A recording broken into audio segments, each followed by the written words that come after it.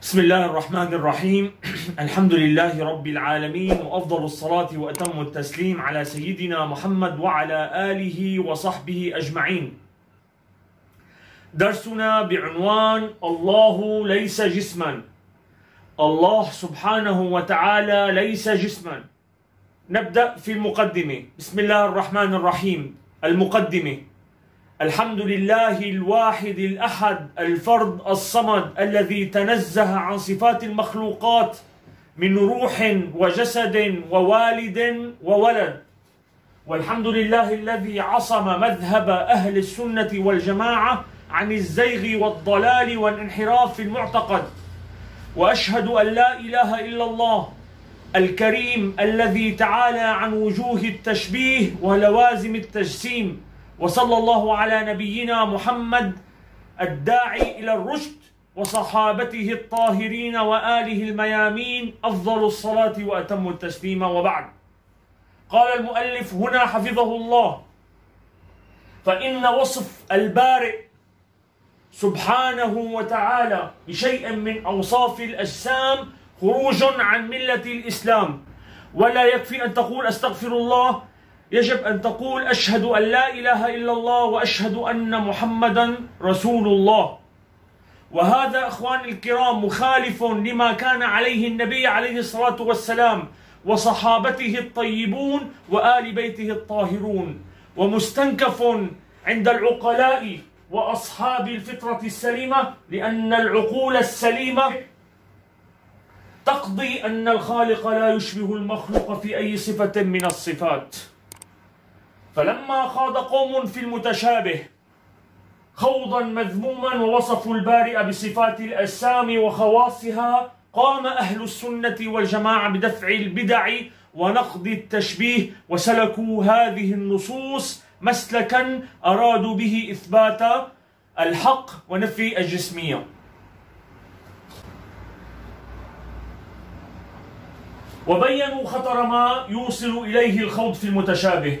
من التحريف والفتنة ممن لم يكن على عقيدة راسخة.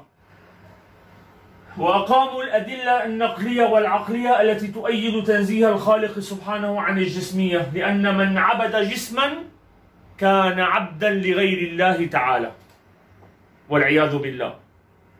غير عارف بربه كما صرح بذلك إمام أهل السنة والجماعة أبو الحسن الأشعري رضي الله عنه وأرضاه.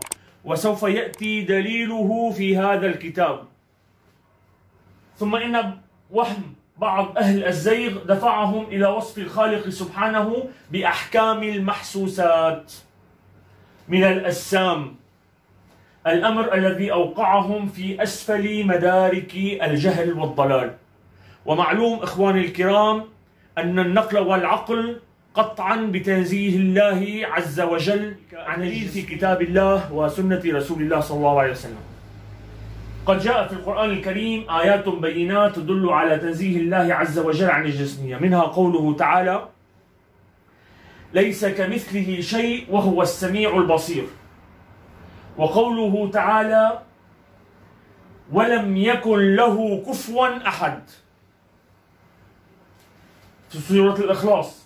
وقوله سبحانه رب السماوات والأرض وما بينهما فاعبده واصطبر لعبادته. هل تعلم له سميا؟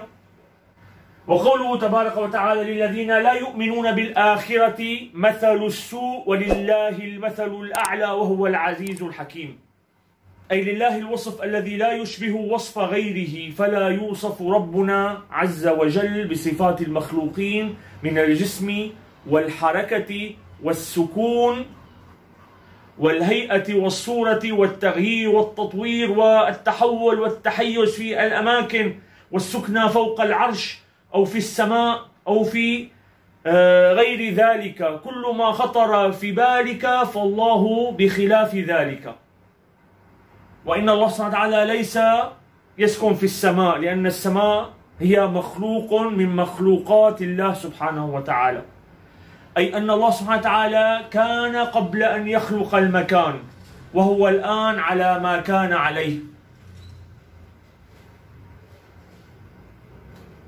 قال الإمام أبو جعفر الطحاوي الذي هو من السلف الصالح في كتابه العقيدة الطحاوية التي ذكر في مقدمتها أنها بيان عقيدة أهل السنة والجماعة.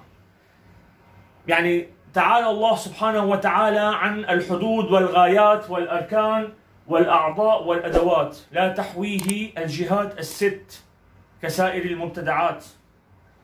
والطحاوي رضي الله عنه من رؤوس السلف الصالح من أهل السنة والجماعة. وقال المفسر اللغوي أبو حيان الأندلسي في تفسيره ولله المثل الأعلى أي الصفة العليا من التنزيه تعالى عن الولد والصاحبة وجميع ما تنسبه الكفرة إليه. مما لا يليق به تعالى كالتشبيه والانتقاله وال كالتشبيه والانتقال وظهوره تعالى في صورة. يعني تأمل معي كيف أكد أبو حيان الأندلسي أن التشبيه هو من صفات الكفرة. وقال عز وجل اضربوا لله الأمثال. أي لا تجعلوا لله الشبيه والمثيل. فإن الله تعالى لا شبيه له ولا مثيل له. فلا ذاته يشبه الذوات ولا صفاته تشبه الصفات. وقال تعالى هو الأول والآخر والظاهر والباطن. قال المجتهد المفسر الله في تفسيره فلا شيء أقرب إليه فلا شيء أقرب إلى شيء منه. كما قال تعالى ونحن أقرب إليه من حبل الوريد.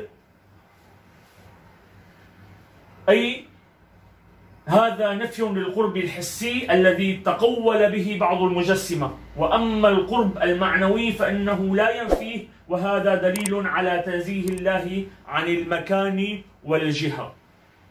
يعني قال الله تعالى في كتاب العزيز ولله المشرق والمغرب فأينما تولوا فثم وجه الله.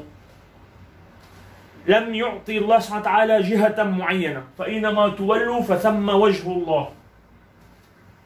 يعني أي قبلة الله. قال المفسر اللغوي أبو حيان الأندلسي ما نصه في قوله تعالى فأينما تولوا فثم وجه الله ردا على من يقول أن الله سبحانه وتعالى في حيز أو جهة لأنه لما خير في استقبال جميع الجهات دل على أنه ليس في جهة ولا حيز. ولو كان في حيز لكان استقباله والتوجه إليه أحق من جميع الأماكن فحيث لم يخصص مكانا علمنا أنه لا في جهة ولا في حيز بل جميع الجهات في ملكه وتحت ملكه. فأي جهة توجهنا إليه ففيها على وجه الخضوع كنا معظمين له ممتثلين لأوامره. إن شاء الله نكمل معكم في الحلقة القادمة و آه، الله سبحانه وتعالى أن ينبهنا عن نومة الغافلين وأن يحشرنا تحت لواء سيد المرسلين لا مغيرين ولا مبدلين والحمد لله رب العالمين.